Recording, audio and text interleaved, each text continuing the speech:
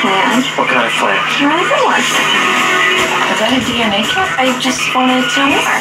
Your sperm donor felon claimed to have a master's degree. Maybe one of those guys was my dad. He wasn't your father. He was an anonymous donor. I don't know if this is a good idea. I never expected her to be so obsessed. I have to tell the truth. I know who your father is. What? Accused. on you this Tuesday at 9 on Fox.